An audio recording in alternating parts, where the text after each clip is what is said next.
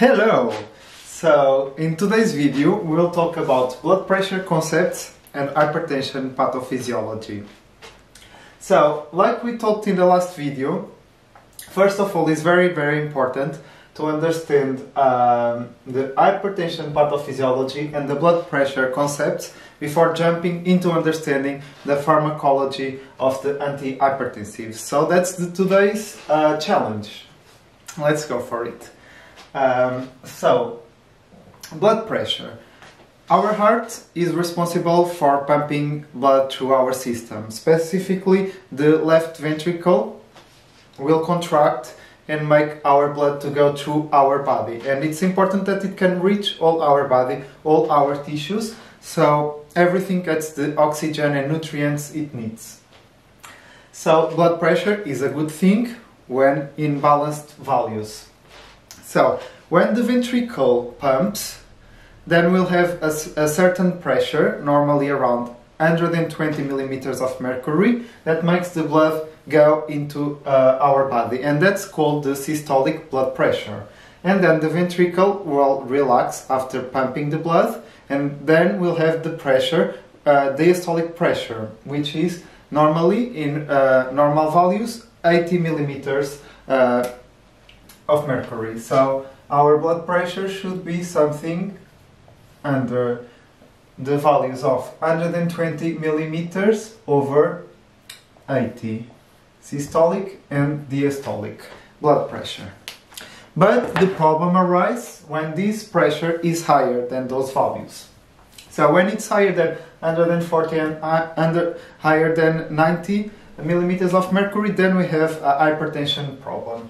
So let's understand what are the factors that can make this problem happen. So, which factors impact on the blood pressure?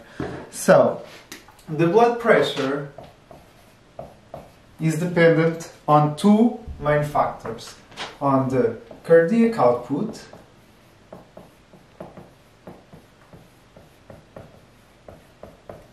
and on the second one on the systemic vascular resistance.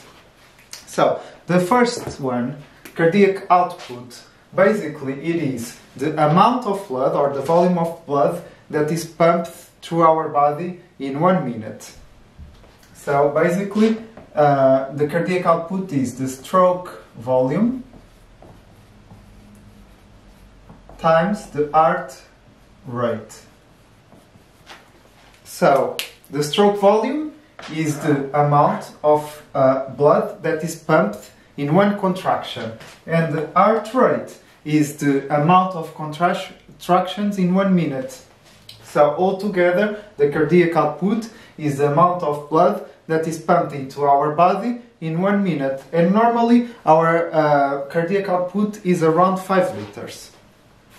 And lately, uh, after all, we have the systemic vascular resistant, which is basically the resistant, the resistance that the blood encounters when it keeps flowing through our um, vessels. So the resistance uh, can be higher if, for example, a blood vessel is more narrow, or resistance can be higher if the blood viscosity is uh, higher as well. So if the blood contains many, many cholesterol, then it's more viscous, so the resistance is higher, so the blood pressure is higher. So in general terms, this is the most important to understand, because then we'll have um, drugs that will uh, basically act in the different parts that impact in the blood pressure uh, ultimately. So for example, we'll have drugs that will act in the blood volume, which is for example the ACE inhibitors, the diuretics that make us pee out some water and some salt, so then the volume is uh, lower and the blood pressure is lowered. Then we have uh, drugs that will impact in the heart rate. So basically, for example, the beta blockers, they inhibit our heart from pumping uh, so many times, so it reduces the heart rate, so our blood pressure is also reduced. Uh, we've got drugs that inter interact uh, in the contractility system. So, for example, we have calcium channel blockers that uh, in summary, they block the calcium to enter the muscles, so they do not contract. Uh, so then our blood pressure is reduced as well. And then we have, for example, vasodilators, which will impact on the systemic vascular resistance. So the vasodilators, they make our blood vessels to uh, relax, and then our blood pressure is also lowered. That's pretty much it uh, in terms of factors that impact on the blood pressure. Then it's very, very important to understand uh, two different types of hypertension. There is the primary hypertension and the secondary hypertension.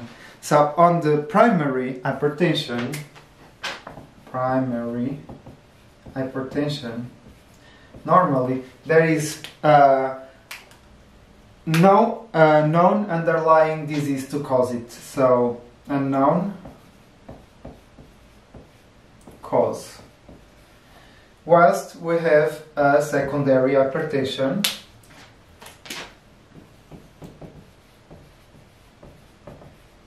And this secondary hypertension, normally we, there is a cause behind it that causes the blood pressure to increase. So, there, for example, we can have a kidney disease that makes our um, blood pressure to go higher. And uh, basically, the primary hypertension is the most common one, more than 90% of the cases, whilst uh, the secondary hypertension is the less frequent, is 10% of the cases. But the secondary uh, hypertension should be forgotten, especially for children, because many times children has got a high blood pressure because they have a, a, kidney problem behind it or any other problem. But that also can be uh, said for adults, even though adults normally they have a primary hypertension. That being said, it's also very very important to understand that some drugs they can make our blood pressure to go higher as well. So there are certain drugs that because of their mechanism of action, they make our blood pressure to go higher as well. So also drugs can cause hypertension. So we'll in the next videos talk about the drugs that decrease the hypertension. They are antihypertensive drugs, but there are drugs that do the opposite and they should be taken into account. So um, they are, for example, corticosteroid drugs. They can make the hypertension go higher. Non-steroidal anti-inflammatory drugs, for example, ibuprofen, naproxen, um, all those. Oral contraceptive So that's why the ladies, when they are put on the pill, they need to have regular blood uh, pressure checks in order to keep going, to make sure the blood pressure is not rising too much.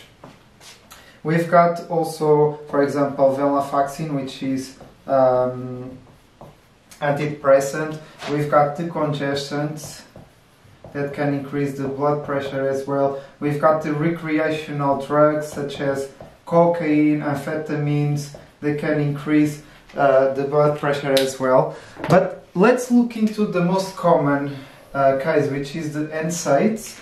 So as we know, the NSAIDs or the non-steroidal anti-inflammatories, they act by blocking the production of uh, prostaglandins.